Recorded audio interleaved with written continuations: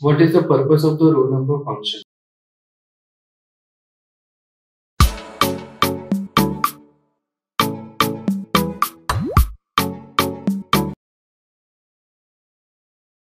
The row number function is a window function in SQL that assigns a unique integer value to each row with the result set of query.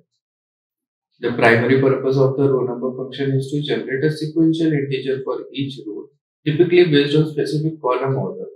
This function is commonly used for tasks like pagination, ranking, and identifying or numbering rows within the result set.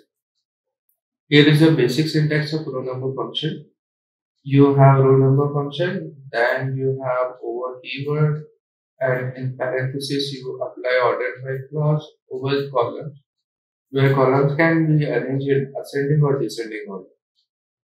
Where row number is the function that generates the row number, over this is the keyword used to define the window or partition of the result set over which the row number function is generated Order by, you specify the column or columns by which you want to order the rows. The row number function will assign row number based on this order. ASC and ESC, you can specify the sort order as ascending or descending for each column in the order by clause. Uh, some few common use cases of row number function. First is pagination. You can use row number function to implement pagination in your queries. By assigning row number to the rows of the result set, you can easily retrieve specific range of rows from the result set, such as first 10 rows, then the next 10 rows, etc. Ranking. You can use row number to assign ranking to rows based on specific criteria. For example, you can rank products by their price or customer by their purchase history. Removing duplicates. Row number can be used to identify and remove duplicate rows from a result set. You can assign row number and then filter rows within a row number of 1 to keep only one instance of each unique row. Here is an example of row number function to implement pagination.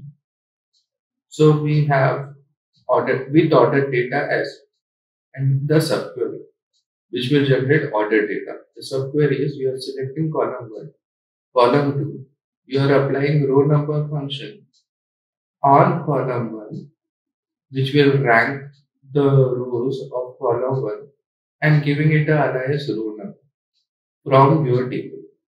Now you have a result collected in ordered data. Then in the outer query, you are selecting column 1, column 2 from ordered data and you are applying uh, a where condition where you are filtering row number between 11 and 20.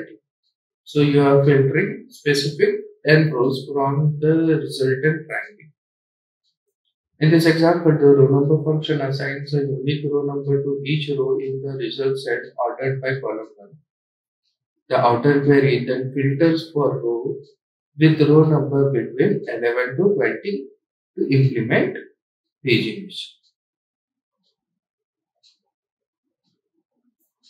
Now, keep in mind that the exact syntax and availability of window function like row number may vary between different database management systems.